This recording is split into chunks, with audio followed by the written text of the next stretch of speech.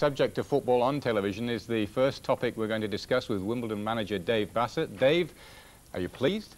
Very pleased, yeah. Highly delighted.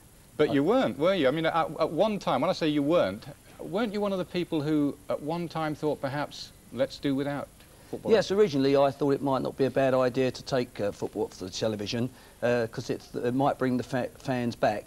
But with hindsight now and looking back, we needed all other sport off the television as well to have a chance of doing that. So you're prepared to put your hands up and oh, say I was wrong in that yeah, case? definitely. I think it's vitally important. It's been proved without doubt this year, and uh, it's important for our sponsors like General Motors and Canon, who support the Football League and the clubs, uh, that television's needed, and we've got to accept it. That's a fact of life.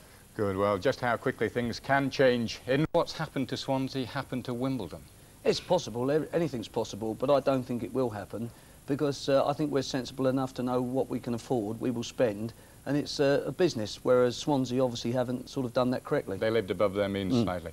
Now, Graham Taylor was our guest last week. He admitted uh, despair. He frightened me, frightened a lot of people. Our response to it was quite remarkable. You've watched the interview. What, what were your thoughts about Graham's views? Well, I, I think he brought out a lot of good points, and he stood up and said what some people have been feeling in the game.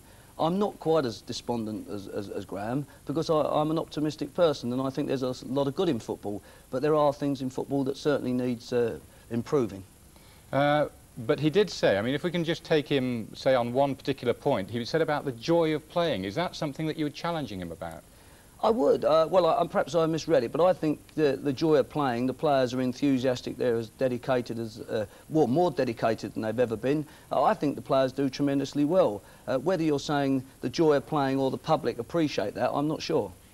And what about the people who run the game? He felt very strongly there that there should be football people involved. He said originally it was the butcher, the baker and the candlestick maker.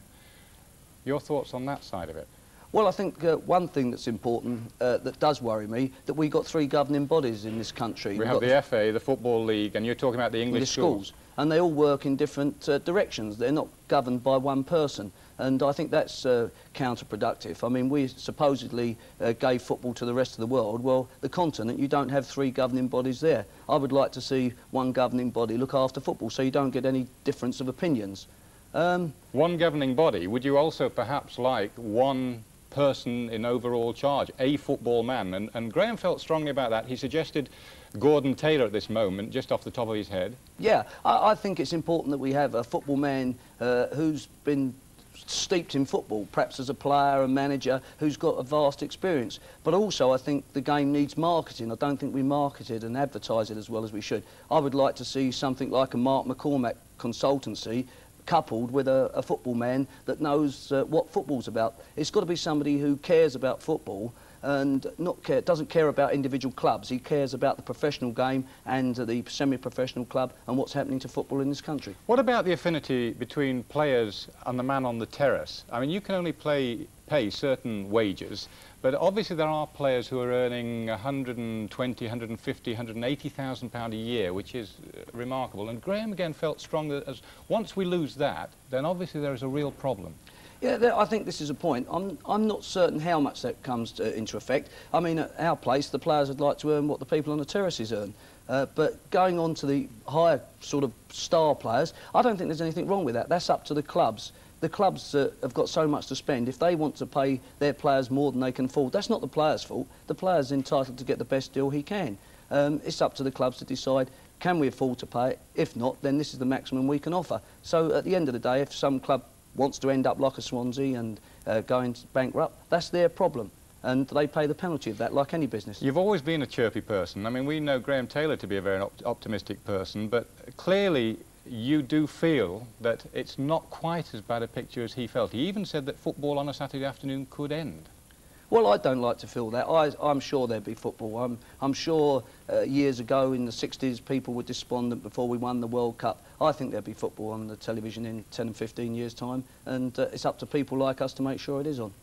For the moment, Dave, thanks very much. Game, Dave, the World Cup really could lift us all, couldn't it? Oh, it's, it's important, the World Cup. I mean, I'm looking forward to watching the games. I'm sure many people are. And if England and, and Scotland and Northern Ireland all do well, it'll give us all a great boost. I have one final little question to put to you. It's about eight years ago since Wimbledon came from non-league into the Football League. You've gone through, you're on the verge of the First Division. What would a Super League do to Wimbledon, the likes of Wimbledon?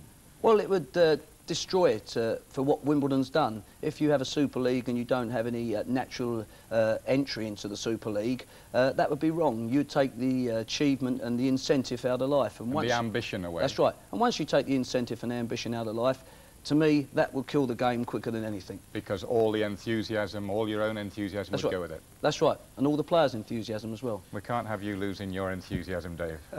Thanks very much.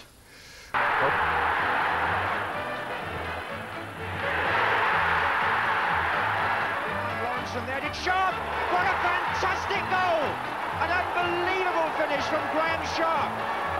Reid's cross Gray. What a fantastic goal! And now Brazil. Onside, good turn. Brilliant. Olsen, deflection, goal! By and he's made the gap this time. That's a fine goal. That is a really super goal.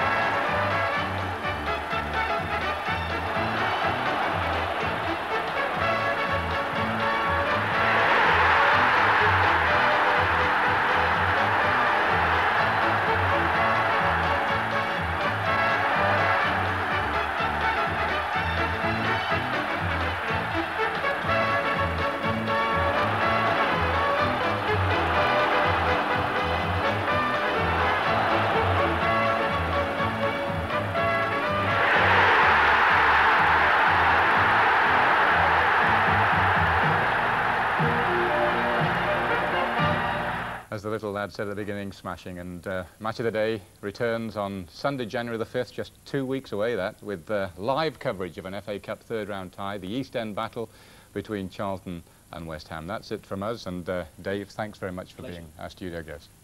Wimbledon Sheffield United this afternoon. Yes. Good luck with that.